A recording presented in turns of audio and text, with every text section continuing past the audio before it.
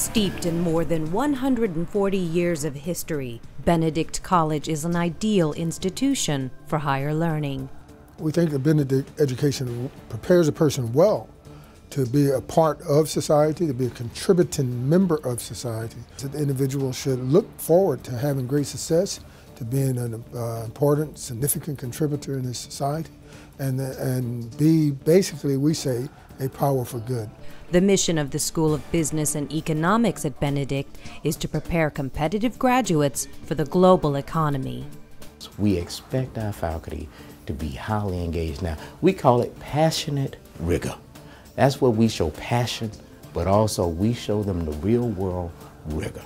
We want our students to understand and appreciate the pace, the pressure, and the expectations of corporate America. The curriculum at Benedict School of Business and Economics includes rigorous courses as well as 150 internship hours. We have our hand in the business community and therefore our students can take advantage of that with their internship opportunities. Benedict is also an economic engine to South Carolina with its Business Development Center.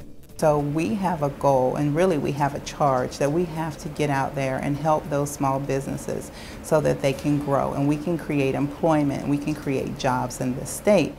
Classes are held where new businesses are incubating. As one of the instructors, my classes are held here, and I'm also an on-site resource for the business development. So that means entrepreneurs who are housed in the incubator that's within the Business Development Center, they get to take advantage of my expertise. I get to facilitate our students interacting with those entrepreneurs that are here at the Business Development Center. The college, they make sure that I get the type of students that will really help the business they really push a concept called PIE, which stands for Performance, Image, and Exposure. Performance, of course, you want to perform well academically.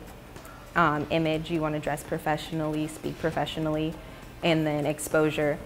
And that exposure includes hearing from leadership from Fortune 500 companies. All the corporations uh, in South Carolina have been to Benedict College.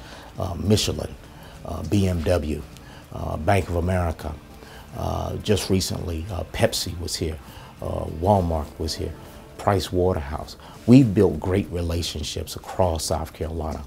Not only do they come for that one day, but we have a process of bringing corporate America in as teachers. Benedict also created a unique best practices element called the Freshman Institute each first year student is assigned a coach to ensure the student succeeds in their preparation for a business career. The program is extremely unique because of its comprehensive nature. There is no program in the United States that is as comprehensive as the Freshman Institute. I would say that Benedict is what you make it. If you really take um, ownership of your academic life and your career and what you want to pursue, that all the opportunities are here for you if you just ask everybody for help. We will work with them to do our best to ensure that they are successful uh, and that they will graduate as people that we will be proud to carry the Benedict flag out in the community.